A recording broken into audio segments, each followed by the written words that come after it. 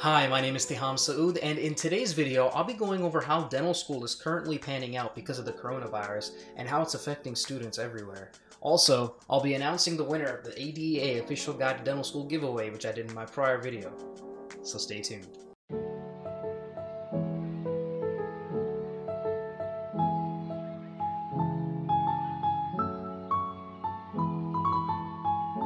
Okay, so I was pretty curious how I was going to be able to get to do this, so I came across this tool, just pasting in the YouTube link where people used to enter into the giveaway, changing the keyword for the comments to be apply. So anybody that used the word apply is entered into this giveaways because everyone entered in the year they were applying to dental school.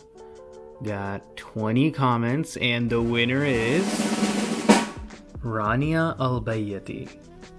Congratulations, Rania. You're the winner of the giveaway for the ADA Official Guide to Dental School. You've already been contacted by now, and best of luck in applying to dental schools. Okay, so where am I right now, and how does it stand with the current situation? So I'm going to rewind a little bit. Started dental school in July of 2019. We were slowly introduced to a lot of science classes, basic science classes, things that we've been uh, exposed to in the past, and some things we had never seen before. So once we started getting into the groove of things and kind of transitioning into how we need to approach our classes, we were slowly introduced to operative dentistry courses as well. We're taught all the tools, the procedures, the methods, and everything that comes into doing certain things when it comes to restorative dentistry. So we were taught everything in class in a didactic fashion, and then after that, we went straight to the sim clinic right after the class. So we were applying what we learned from the lectures and actually doing it on the mannequins with the plastic teeth. So it was really cool. Like, that's what I love about dentistry. You're learning it, and then you're just applying what you're doing in real time. That's what I really loved about it. Anyways, that's not what this video is about. Um, so yeah, we're in sim clinic, we're learning and doing the procedures, we're drilling in the teeth, we're learning how to do the class one preparations, the class two preparations, and how to actually fill it with the amalgam material. Amalgam material is the silver material that you're used to seeing in a lot of people's teeth that's within their actual natural tooth.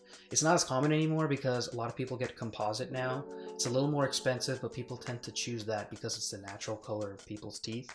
So, yeah. But we're still learning with the amalgam because it's still fairly common. A lot of people pick it because it's a cheaper option. Okay, so we're nearing the end of the semester. It's December time. We learned a lot of things when it comes to class ones. And then class twos as well was what we continued on to in January, the second semester of dental school. So we also have competencies for these fillings that we're learning about, and you have to get them checked off. So that's the last thing that we actually did in dental school up until that time right before spring break. So we were told we're on track to learn class threes, class fours, and class five fillings, right? So this is what happened. So none of us expected to like have any chance of having school canceled. So I packed up my bags and I came back to Houston and we find out school's canceled and they're telling us don't come back. Just indefinitely we don't know what's going to happen don't come back. Just stay put. We're moving everything online.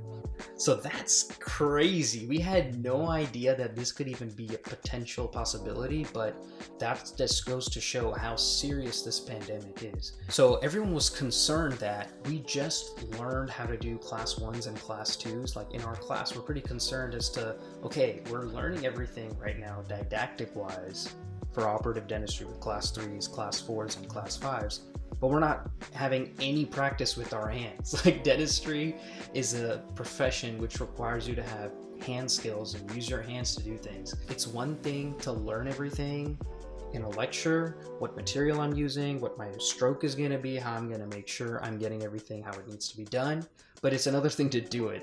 So that's one thing we're pretty concerned about. We finished all of class three and class four and class five operative courses online through Zoom, which was so crazy, but we somehow did it. The really hard thing about operative dentistry is that once you kind of have an idea as to how you need to move your hands with the amount of intensity, the pressure, and the depth, you feel like you're going pretty good. But then when it comes to the maxillary part of the teeth, meaning your upper teeth, it's a whole nother story. Pretty interesting because we were just getting exposed to how to use indirect vision when it comes to prepping upper teeth, the maxillary teeth, because you're not able to look at it with your direct line of sight. You have to use a mirror, you're looking at it upside down. And whenever you want to go down, the drill actually goes up. And whenever you want to go left, the drill actually goes right. So it's something that take a lot, took, took a lot of time for myself to get used to, including my classmates.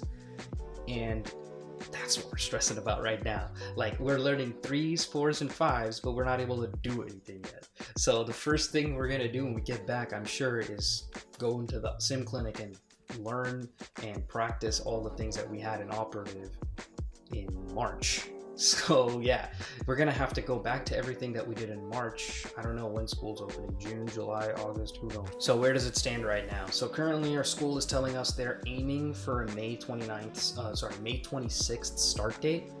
I don't know if that's gonna happen, and they told us they'd give us a two-week notice before school starts. Doing what I can, you know. We're trying to learn everything online. We're having questions. We're professors are really approachable. They're really awesome. They're really trying to help us. It's unfamiliar territory for everyone, man. It's unfamiliar territory for the faculty, for the students. So we're all learning how to go about this the best way we can.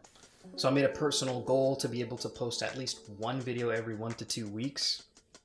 So sorry I didn't have one posted in between the prior video because I was honestly swamped with stuff. We were learning everything about pharmacology. It's like a second like second module system we have with pharmacology right now.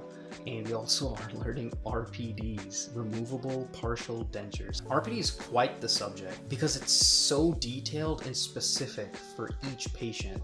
So I'll kind of go over procedures in other videos, but man, that is a very intense class and it requires a lot of work, just didactic wise. So procedural wise in the sim clinic, that's gonna be a whole nother story. So where does it stand right now? Who knows? We have no idea when we'll actually be back for certain. I'll be honest, man, I just want to go back. Like, honestly, I just want to be able to go into the sim clinic and just do everything we're learning so that when it comes time to be in the patient floor clinic, we know what we're doing. Thank you so much, guys, if you ended up watching this entire video. I really appreciate it.